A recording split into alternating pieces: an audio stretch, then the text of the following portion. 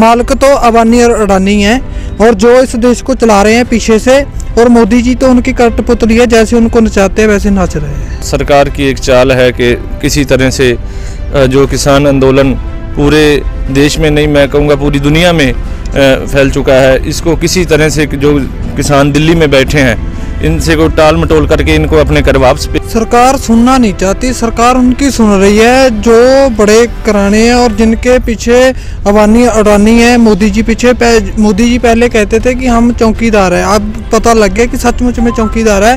नमस्कार दी कंट आप देख रहे हैं आप और आपके साथ मैं हुस्मा खान। ये जगह है निरंकारी मैदान।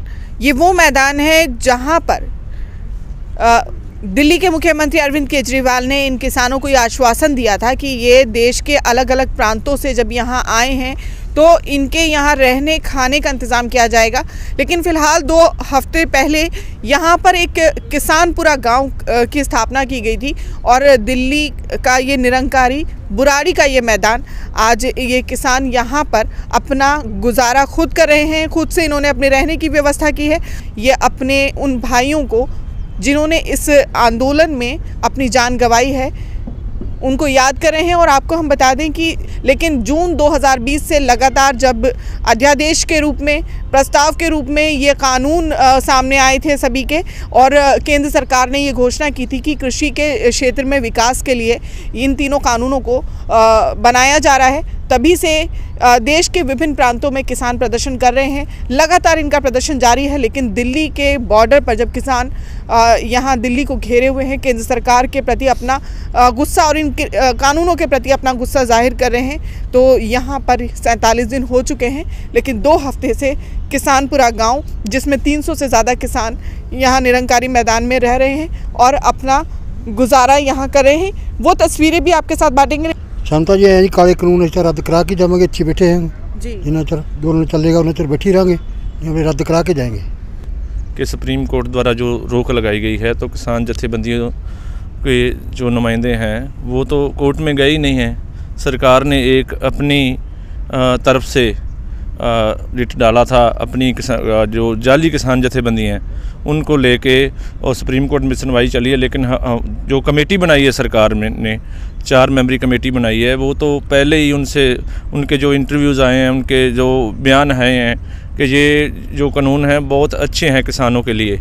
तो उनके आ, किसानों के पक्ष में है तो उस कमेटी में किसान जथेबंदियों ने कल ही आ, बाकायदा स्टेज पर बोलकर किसान आगुओं ने ये बात की कि उस उस कमेटी में ना तो हम जाएँगे ना तो हमने सुप्रीम कोर्ट में कोई रिट डाला और हम इस कमेटी से सहमत नहीं हैं। हम तो ये चाहते हैं कि ये जो कृषि कानून लेके आई है सरकार ये रद्द कर दे हम अपने घर को चले जाएँगे।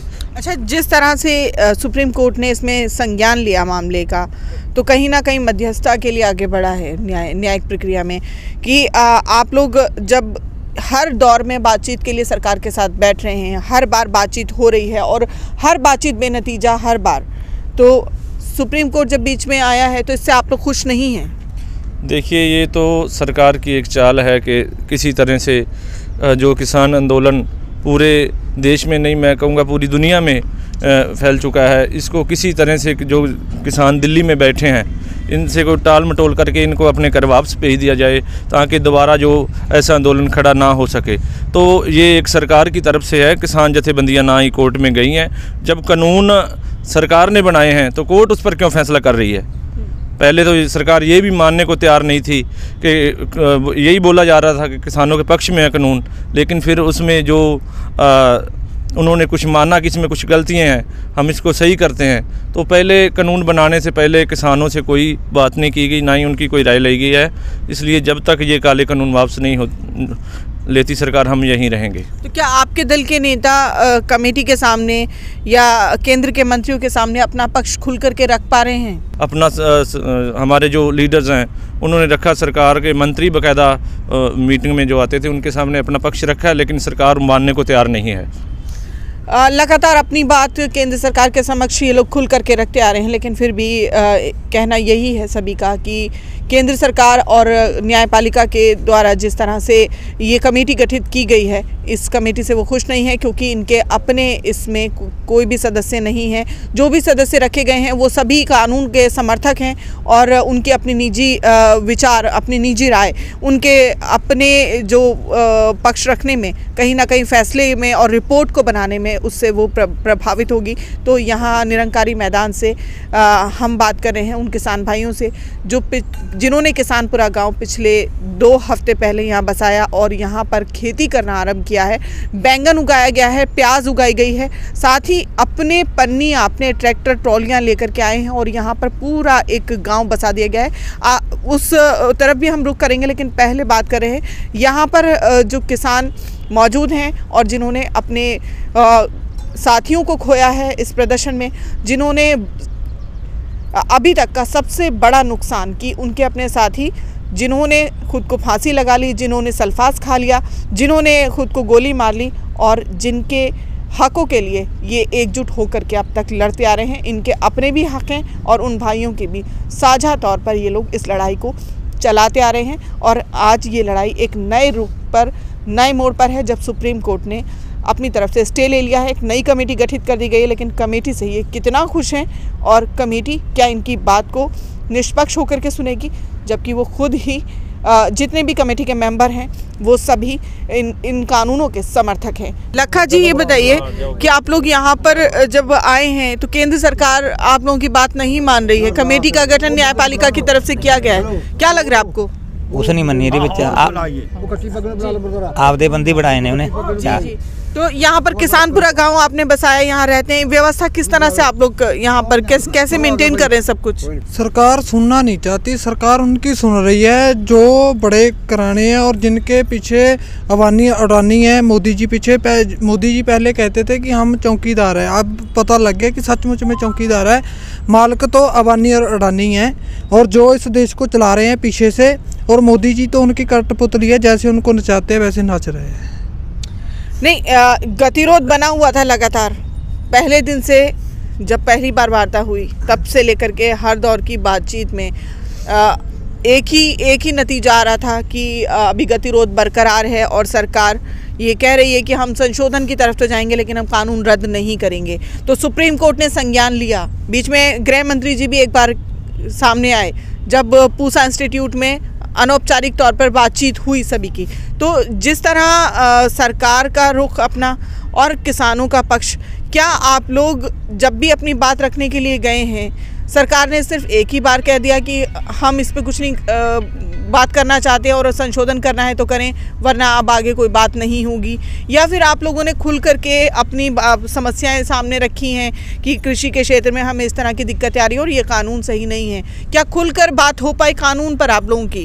कानून पे तो हर बात इनको लगता है कि किसान पढ़ा लिखा नहीं है, किसान पढ़ा लिखा है और उनको अच्छे तरीके से समझाया भी है। एक बार तो हमारे जो पंजाब के बीजेपी के लीडर है, सुरजीत गरेवाल, वो हरजीत गरेवाल वो कह रहे थे कि आप आप कहोगे तो बदली कर दोगे कल को अबानी डानी बोलेंगे तो फिर चेंज करने पड़ेंगे हम जाए तो जहाँ कहे ये बात उनके मुँह से निकली है जी तो इनको ये नहीं पता लग रहा है कि हम करें तो करें क्या अब ये सरकार मुझका सवाल बनाई बैठी है जो सरकार जो किसान रोज़ सड़कों पे मर रहे हैं दो दो डेथें डेली की औसत है जो पंजाब को जा रही हैगी। पर इस सरकार को कुछ जान की कोई परवाही नहीं है पर इसको पता लगता है कि ये हिटलर रूप धार ही बैठी है। अच्छा मंडियाँ देश के दूसरे राज्यों में दशकों से नहीं है। बिहार में 2006 से नहीं से है तो है ना? और भी राज्य वो जो कृषि के संकट की चपेट में हैं। तो ऐसा क्यों है कि पंजाब और हरियाणा जो पूरी तरह से स्वतंत्र रूप से कृषि करता आ रहा है, उसको किसी भी तरह की ना तो मृदा को लेकर के, ना एनवायरनमेंट को लेकर के, पर्यावरण को लेकर के, या तापमान को लेकर के, या पानी की धरती के अंदर नमी की कमी को लेकर के कोई कभी किसी तरह की कठिनाई का सामना करना पड़ा हो तो आज वो ही क्यों आगे आ रहा है? नहीं, इसलिए क्योंकि इन्होंने पहले ये हाल बिहार का बनावट दिया है कि बिहार में सात सौ, आठ सौ गेहूँ का और चावल का रेट लगता है जी।